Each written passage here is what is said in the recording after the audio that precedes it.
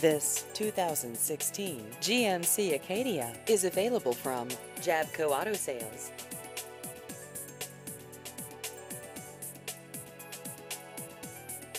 This vehicle has just over 24,000 miles.